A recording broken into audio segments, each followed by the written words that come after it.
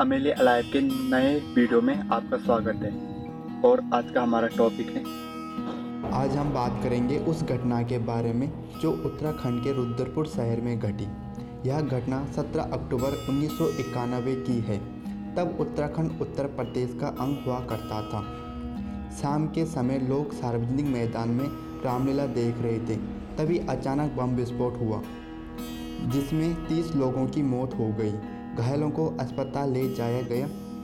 तभी अस्पताल के इमरजेंसी वार्ड के बाहर एक और बम विस्फोट हुआ।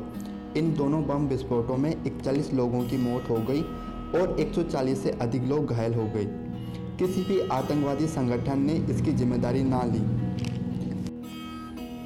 यह जानकारी हमने इंटरनेट और आर्टिकलों से ली, जिनके लिंक वीडियो के डिस्क्रिप्शन में हैं।